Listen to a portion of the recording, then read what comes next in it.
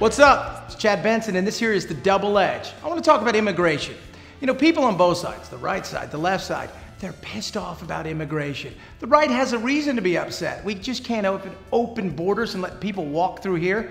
The left, well, you know what? They say we're a nation of immigrants, and some of that may be true. The fact is, if we're going to be mad at anybody, it should be the people in power.